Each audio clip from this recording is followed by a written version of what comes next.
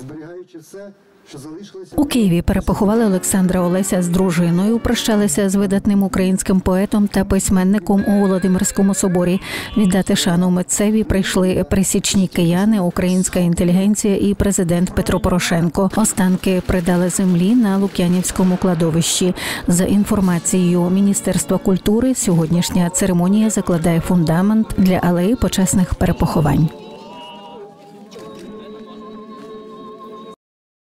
Свою любов до України